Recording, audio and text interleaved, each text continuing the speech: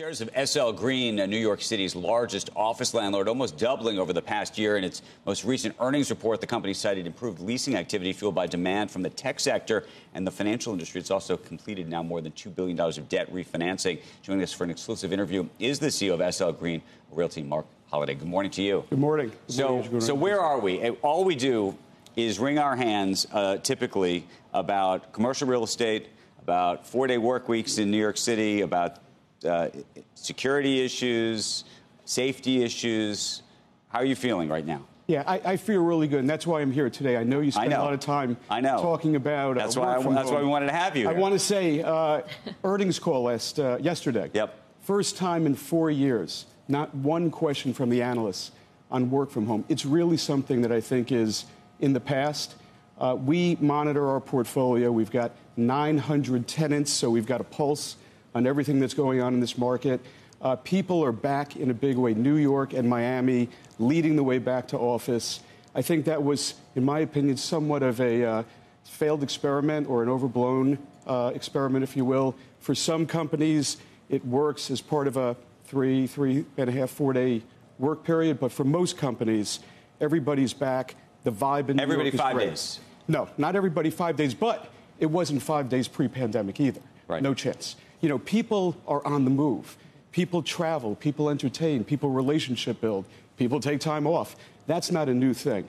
You know, our occupancies are probably 70 to 80 percent of where they were pre-pandemic, but at that level, for us, the buildings are full. In some cases, the buildings are at or above pre-pandemic levels. Is that going to be the new norm? No, I think it's still we're still still, still evolving. I, I, think uh-huh. you know th- there's a new generation of workers coming every year out of the schools, you know, into the workforce. And they're hard workers. They don't know from that pandemic era. I, I, I have uh, young people in my office. They were in on Sunday last week. They're there in the evenings. It's not quite the way it was, uh, but you know, we don't get asked the question about work from home policy. So you don't think there's always there has been this expectation, even the last two years, that even folks who have leases that are current that are going to roll in two or three years, that all of a sudden they're all going to trade down. They're going to say, you know what, actually, yeah. you know what, you can have that, you can have three floors back okay. because we just, just, we just don't need it. I, I, don't want to talk up the book. You have to look at the data in my portfolio. I, I ended the year over 90% leased. That's four years into pandemic, and we're projecting to be 92% leased by the end of this right. year. That means we're leasing space to tenants who are making long-term commitments of often between 7, 10, 15 year commitments right. because they know the future uh, for their businesses is to have that central hub. But I'm talking about a very specific market, I want to be clear. I'm talking about Greater East Midtown.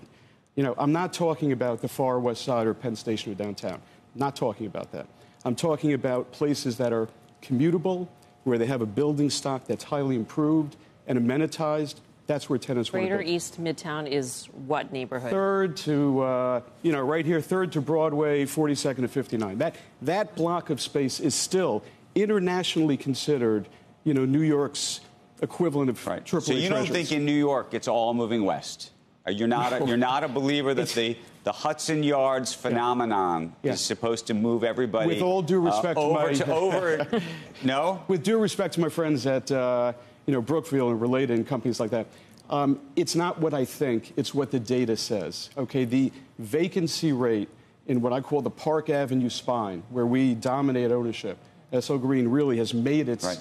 its case everywhere from 23rd Street to 59th Street along Park Avenue and everything just east and west of it.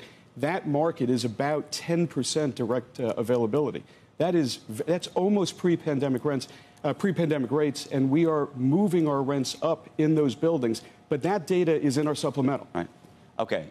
I want to talk about either developing new properties uh, or buying new properties yeah. in an environment where interest rates are frankly out of control.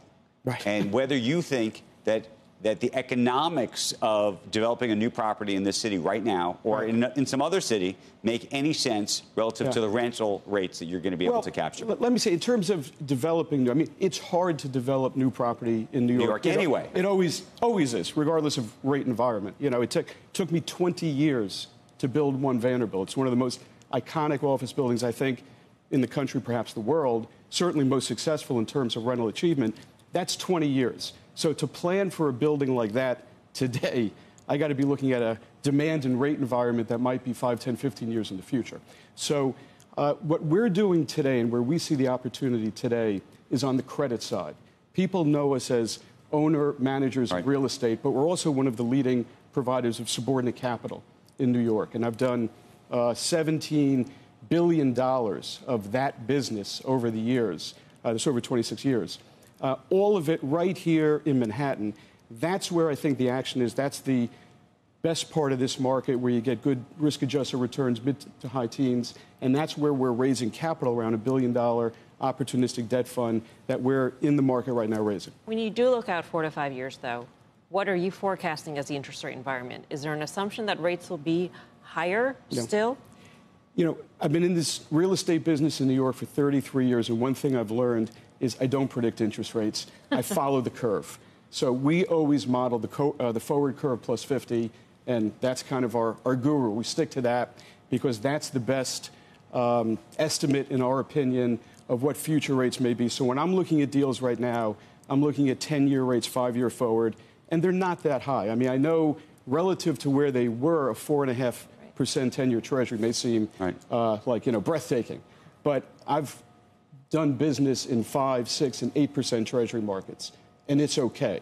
And in fact, I think there's more opportunity for people like us, and you heard from John Gray yesterday, people like Blackstone, uh, in this market, which differentiates between, you know, the, the, the people who have reputation, track record, experience, and a low rate environment where everybody's a hero.